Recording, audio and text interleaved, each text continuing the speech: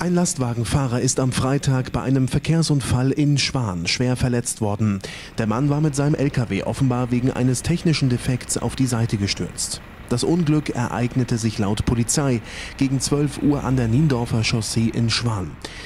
Der 49-Jährige wollte mit seinem Gefährt nach rechts auf das Gelände einer Tankstelle abbiegen. Beim Durchfahren der Kurve hatte sich offenbar die Mulde gelöst und die Zugmaschine zum Umsturz gebracht. Der Laster fiel nach links auf die Seite. Der 49-Jährige wurde schwer verletzt in seinem Führerhaus eingeklemmt. Die Kameraden der Freiwilligen Feuerwehr aus Schwan mussten den Mann mit schwerem Gerät befreien. Sie entfernten dabei ein Teil des Daches. Erst dann konnte der schwer verletzte Mann an den Rettungsdienst übergeben werden. Der 49-Jährige kam umgehend in ein Krankenhaus. Ein Notarzt wurde zur Einsatzstelle per Helikopter eingeflogen. Ein Sachverständiger der DEKRA nahm zusammen mit der Polizei die Ermittlungen zur Unfallursache auf. In einer ersten Analyse könnte der Unfall auf einen technischen Fehler zurückzuführen sein.